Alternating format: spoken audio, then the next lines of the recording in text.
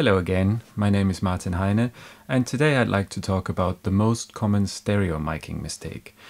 I see this one quite frequently, uh, particularly in home recording situations, but also in studios and on stages. The application where I'm probably seeing this the most is piano recording, but also small ensemble stereo pickup and also drum overheads. Now I'll accept that mistake is a loaded word, as there are no rules and everyone's free to do what they like. But perhaps if you've been employing this technique after watching this video and knowing what to listen out for, you may want to make some small adjustments as well. If you're a seasoned pro, I don't wish to waste your time. So what I'm getting at here is inward angled equivalent stereophony. And if you just sighed and said, oh yes, then this video may not be for you. Alright, let's start at the beginning. When we listen in stereo, we have two speakers, one left and one right. If the two speakers play back the exact same thing, then we perceive the sound as coming from the middle, the phantom center. In fact, our ears really also hear the signal as coming from the two separate speakers, but we've grown accustomed to the illusion and that would be for a different subject. Okay, so now if we want to perceive a sound as coming from more to the side of the setup, there are only two possible ways of achieving that, plus a third, which is a combination of the two. First, one speaker can play the sound louder than the other speaker. This is called level or intensity difference and shifts the sound towards the louder speaker. Second, one speaker plays the sound ever so slightly earlier than the other speaker. This is called time difference and shifts the sound towards the earlier speaker. Third option is the combination of the two. Our ears have evolved to be amazingly attuned to the finest of changes to these two parameters in order to avoid predators.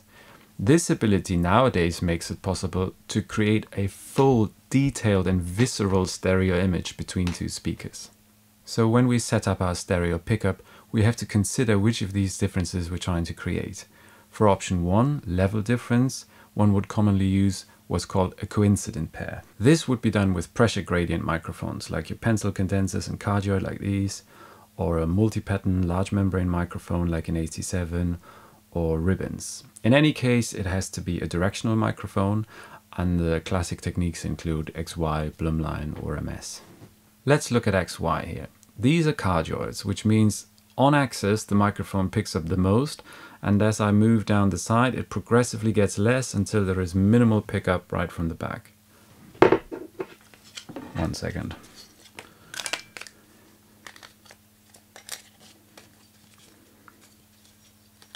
Okay, here we go. Now, if one microphone is facing this way, it will pick up a sound that's coming from over here on axis louder than the other one, which is facing sideways. And consequently, this speaker will play the source louder than the other one, creating the intensity difference. For option 2, a time difference, one would set up a spaced pair of usually pressure microphones or omnis at a distance to one another. This is called AB and creates the time difference as the sound coming from over here will now arrive at this microphone earlier and consequently playback earlier from the corresponding speaker as well. So far so good. Now for the third option, you can combine the two previous techniques by using a spaced pair of directional microphones like these. This is called equivalent stereophony. Each of the European broadcasting companies had their own little variant of this, including the Dutch NOS, which stands for Nederlandse Omroepstichting, at about 30 centimeters, the Italian RAI, Radio Televisione Italiana, which is a little narrower, the German DIN, Deutsche Industrienorm, a little narrower still, and finally the narrowest is ORTF at 17 centimeters, but that's French, so I'm not pronouncing that. Now you see we couldn't quite agree on the spacing, but crucially, all of these techniques have the microphones facing outwards. Finally, the all too common mistake that this whole video is about is this type of a setup, but with the microphones facing inwards. The horror. I reckon this problem is so widespread because people see space pairs everywhere. Hey, it's stereo. And when they set them up themselves, they think, let's point the mics at the action. Fair enough, but keeping in mind everything that we've previously discussed, let's look at what happens now. This microphone's axis is facing over here, so it will translate things coming from there via the level difference as coming from this speaker, while the sound that's originating from over here will be at this microphone earlier, and via the time difference will also translate as coming from this speaker. So the intensity difference and the time difference are now competing with one another in painting the opposite picture, Naturally, this results in a blurry and confusing muddled up stereo image. When the two microphones are facing outwards, however, the two stereo phenomena complement each other. Generally, to get a better idea of the stereo image you're creating, I recommend walking the horizon, so to speak. So on a piano, you could play from the low notes up. On a drum kit, you could go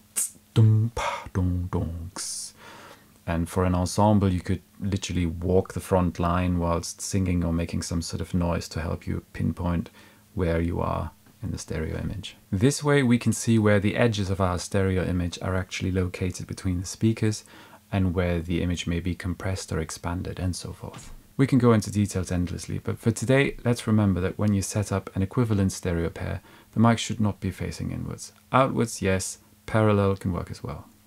Now for the last thing, there is a variant of this problem in XY as well, when you set up the mics like this. Again, I see this all the time, and there are even digital field recorders with attached mics that are set up like this. And granted, the problem is much less severe as the time difference here is really quite small, but nonetheless, it's competing information. So if you're using two separate mics for XY, make sure to set them up like so. This also has the added advantage that the mics are not in each other's acoustical shadow, as they are on those field recorders. Alright, that's it for today. Thanks very much for listening. Uh, if you have additional questions or your own experiences to share, please do so in the comments. Also, feel free to forward this video to your recording friends and follow me here if you wish to be notified about future episodes. Thanks very much. Goodbye.